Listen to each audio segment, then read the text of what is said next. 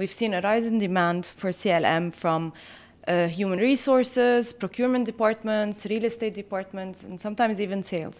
Do you think it was the cost effectiveness of having that in house that drove this shift? Yes, I think it is. I think that's part of it.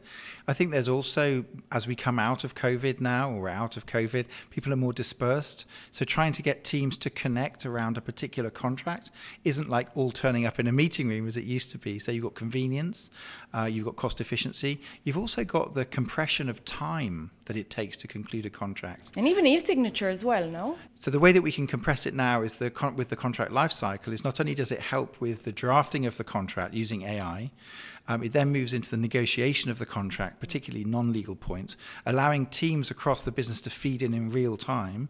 It then moves into the execution of the contract, so you're not sending couriers around Yeah. the world like we did in the old days.